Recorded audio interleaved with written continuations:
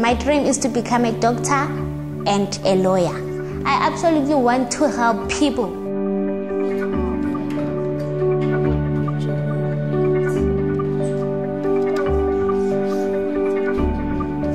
Education will never stop, and education is the key to success.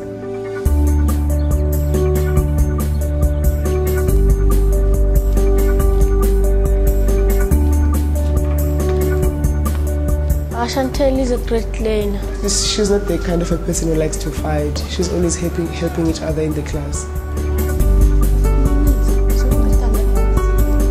My friends are always there for me. If we have a problem or homeworks, we do it all together. I wasn't good at maths at the first time. But with the help of SAS and the Deep Youth program, I quite now I am good at it and I am good at science.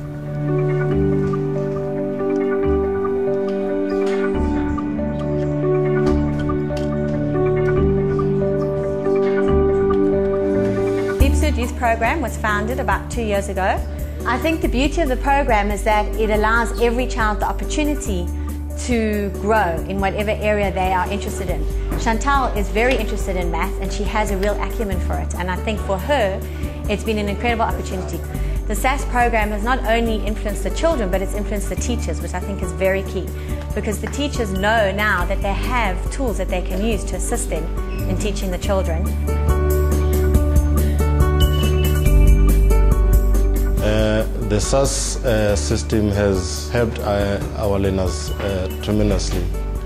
The learners have developed love for maths and they are passionate about it. SAS computers and the people that help us give us a knowledge and more methods of doing maths.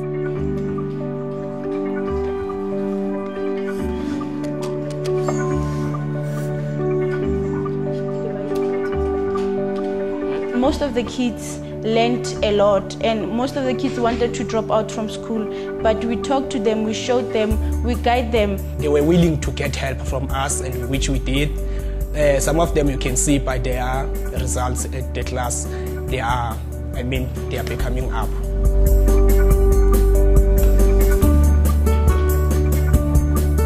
I think if i continue doing maths and science my dreams will come true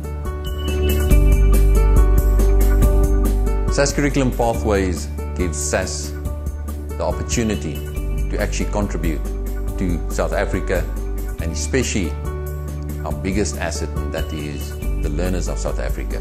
Because we feel that is where the future of South Africa lies. And through Curriculum Pathways we can make a sustainable difference, not only to our learners but to the future of our country.